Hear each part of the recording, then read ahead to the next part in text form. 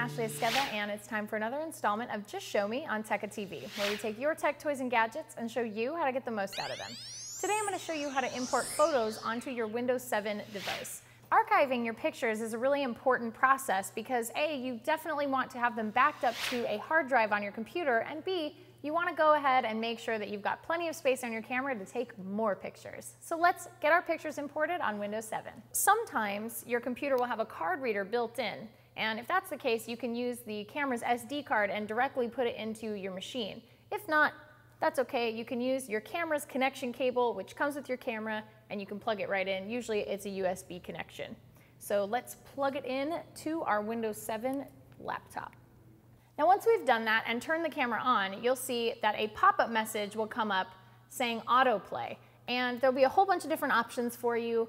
And the first option is pictures options, import pictures and videos. That's what we're looking for. So let's choose that.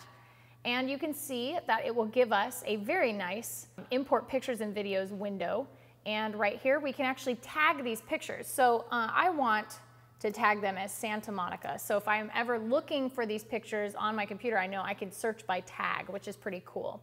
And if you would like to change your import settings, you can click on import settings there in the window and you'll get a whole bunch of options. You can choose where you would like your pictures to go to, where you would like your video to go to, uh, what you would like it to automatically name the folder, what you would like the file name to have. So it'll, and it'll actually give you an example of exactly what it will look like, which is really nice. So you can do that, and once you're done with all of those things, you can actually hit OK, and then from the Import Pictures and Videos pop-up, you just press Import. And if you would like Windows to erase what's on your SD card after it's done importing, all you have to do is just check that box that says Erase after importing, and it will automatically delete those pictures from your camera's memory. Now, once your pictures are done importing, you can find them very easily by going over to Explorer, which is the folder in the bottom left side of your screen, and looking under My Pictures in the left-hand sidebar. It's that easy to import your pictures into Windows 7.